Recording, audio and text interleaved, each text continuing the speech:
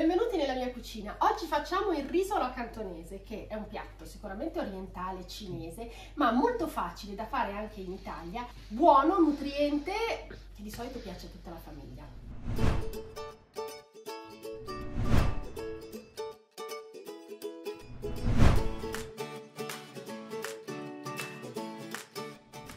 prima cosa ho circa un 100 g di piselli surgelati, li andiamo a far bollire. Un po' di sale.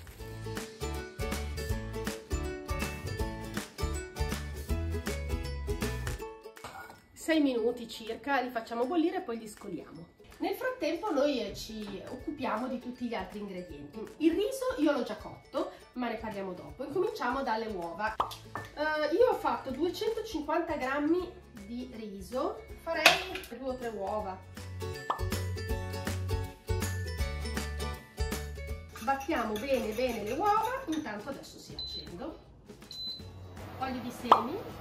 Aspettiamo che sia bella bella calda, poi mettiamo le nostre uova che gonfieranno e faranno una frittata bella vaporosa.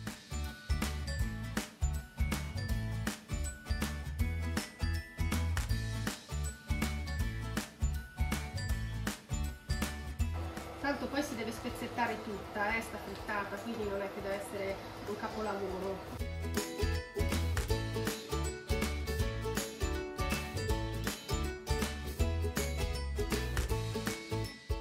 Mi piace che sia un po' brustolita perché dà più sapore, no? La tiriamo via.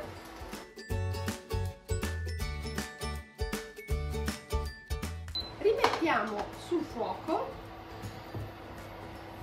aggiungiamo di nuovo un goccino di olio, ma poco poco, e mettiamo un 150 g di cubetti di prosciutto. Allora facciamo bene bene dorare il nostro prosciutto, vedete, mentre il timer mi dice che è il momento di scolare i piselli. Li scolo e li porto qua, intanto che rosola il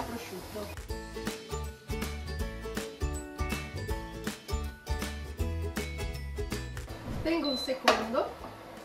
Ok quindi aggiungendo sempre un goccino di olio riaccendo è il momento di mettere il riso. Allora eh, per quello che riguarda il riso potete usare o il riso da sushi o io uso quel riso che si chiama originario che è quello che serve per fare i timballi o anche i dolci.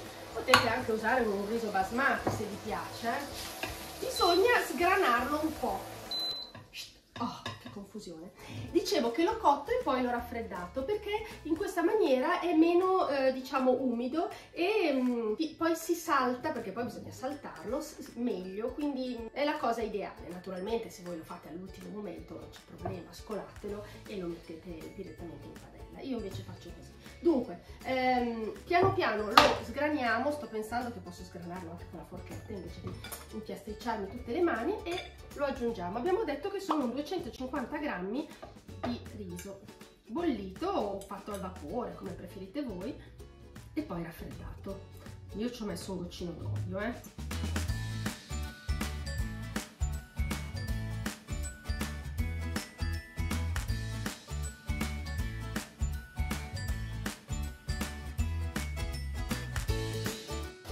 deve proprio un po' saltare e caramellizzarsi.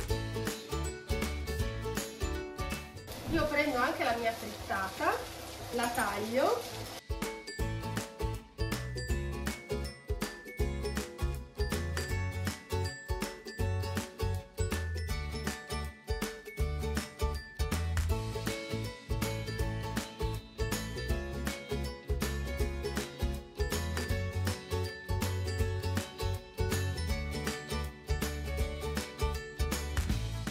Questo sì che è proprio un piatto colorato.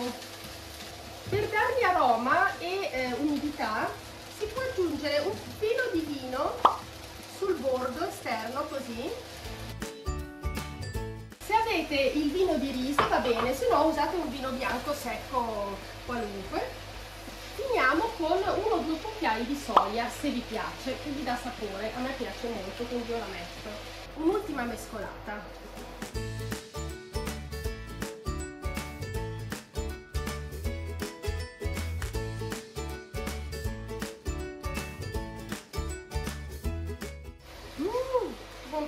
Facciamo eh, bene bene mm, asciugare il vino in maniera che non abbia più sentore di alcol. Lo aggiustiamo di sale se c'è bisogno. Molto saporito. Una volta spento, per guarnire il piatto, metteremo un po' di ehm, parte verde del cipollotto. Se non vi piace la soia, perché vedete che l'ha scurito un po', potete lasciarlo bianco. In molti ristoranti cinesi io mh, mm, vedo che me lo servono bianco, però dicevo a me la soia piace molto. Non mi resta che prendere una bella ciotola e completare il piatto. Una bella ciotola. A proposito, ho appena fatto la ricetta del maialino in agrodolce, quindi sono due piatti che stanno benissimo insieme, quindi io vi lascio il link per vedere il maialino in agrodolce così poi li potete cucinare insieme. Allora, io faccio una porzione gigante perché ho una ciotola gigante, come se fosse per tutta la famiglia. Eh. Allora, dicevamo un po' di cipollotto. Potete mettere anche il cipollotto stesso, ma secondo me è un po' troppo. E voilà, andate a vedere il maialino in agrodolce.